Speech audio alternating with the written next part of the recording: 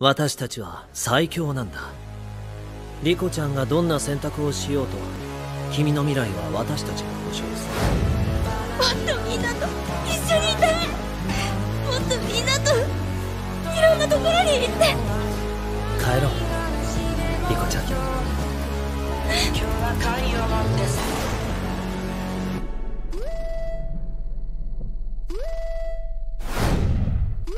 リコちゃんはいお疲れ。